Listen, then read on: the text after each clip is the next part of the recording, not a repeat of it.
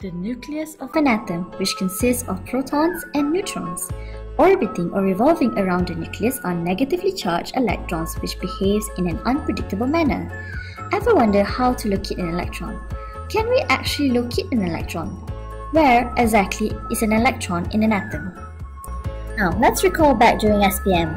We have learned about electron arrangement using the 2882 notation. Here's an example. This is lithium, a neutral atom that has 3 electrons. So, its electronic configuration would be 2.1. Simple, easy lah. This is before quantum chemistry comes into the picture. Now, as you get older, you learn about the microscopic nature of quantum world. So we should be asking ourselves on how to specifically locate an electron and describe its movement and trajectories within an atom. Because you'll soon learn they are negatively charged for a reason. So, how do we describe an electron in an atom? What sort of sorcery does a chemist use to locate an electron within an atom? We chemists use specific four sets of numbers called the quantum numbers of electron. Just like telling your best friend the whereabouts of your crush in a place on Earth, that goes the same on how to explain the whereabouts of an electron by using the quantum numbers of electron.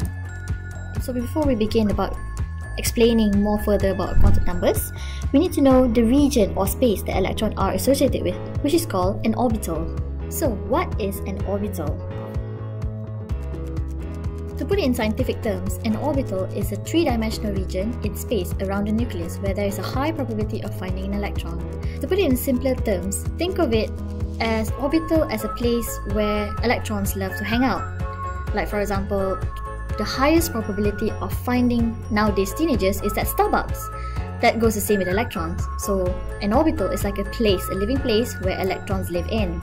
This video shows an example of an atomic orbital. This is an example of an electron orbiting the nucleus. However, this is not exactly the truth. It is almost impossible to precisely locate an electron. The best way to do it is to predict where can an electron be found within an atom. This is where orbital comes in. The blue areas surround the nucleus is the orbital that we are describing. An electron will occupy an orbital until it is completely filled. Once it is completely filled, the next electron will occupy the next shell. The next shell represents a next energy level, thus increasing the size of orbital as well as in terms of energy level. You will also soon learn how to draw shapes of shapes of other types of orbital uh, that governs the quantum numbers of electron. In order to describe these orbitals in which electron can be found, we use a specific four sets of numbers spawned from the molecular orbital theory of Frederick Hund and Robert S. Mulliken. Feeling amazed yet? You should feel amazed, because this is probably the only time that you'll feel amazed. Here are the maths. Quantum numbers of an electron. Throughout this video, we will only be covering the basic of quantum numbers of an electron. We must remember that these four main quantum numbers are used to describe the probable location of an electron in an atom.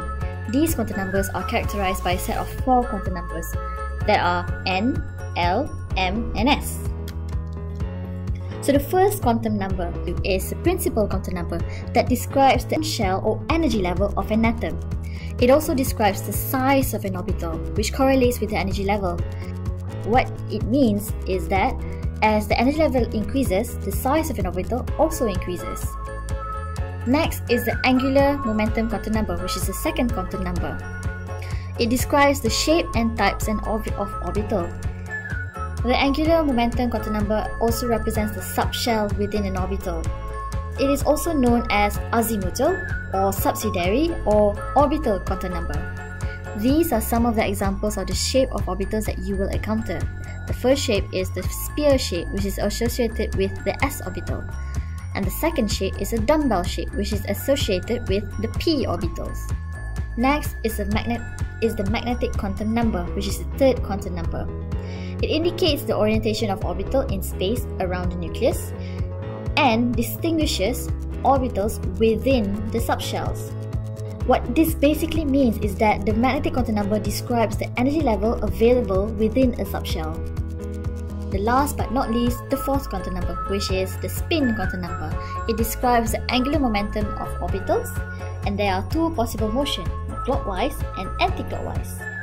you must always remember that the S value of the spin quantum number will always be it's either positive 1 over 2 or negative 1 over 2. With every given formulas or anything, there will always be a rule behind it to apply. These are the following rules that governs each quantum numbers. The first thing that you have to note is that the three quantum numbers N, principal quantum number, L, angular momentum quantum number, and M, the magnetic quantum number, these three quantum numbers must be described as an integer and it cannot be in terms of a fraction or any other given mathematical wave function.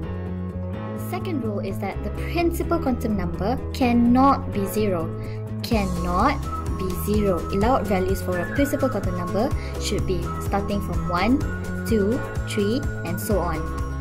The third rule is the angular momentum quantum number can be any integer between 0 and n minus 1 n represents the principal quantum number, which means the energy level minus 1.